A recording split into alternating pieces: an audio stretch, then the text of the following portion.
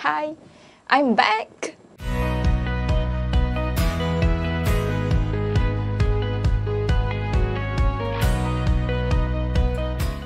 Yes, I'm finally back on YouTube after a long hiatus for nearly about a year and I feel it's a little bit awkward talking in front of the camera for long video content, but here I am. So I want to share with you why I am on such a long hiatus and I hope with my sharing in this video sprinkle some inspiration for you to create more video content. First things first, why the long hiatus?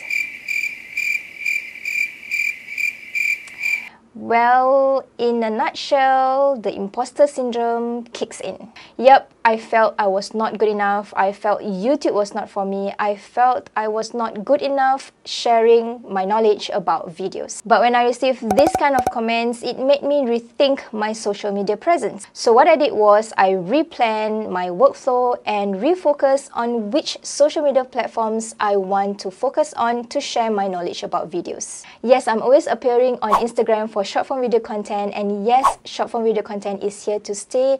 But personally, I feel if I want to position myself as a video expert and building a community, I shouldn't actually neglect the long form video content. And what better place to share long form video content than YouTube? While I was replanning, researching, and refocusing, I stumbled upon this inspirational quote.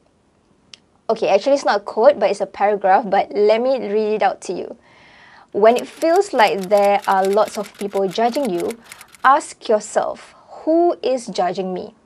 You probably find that when you stop and count the people, there are not as many as of them as you think. There are always more before they are counted.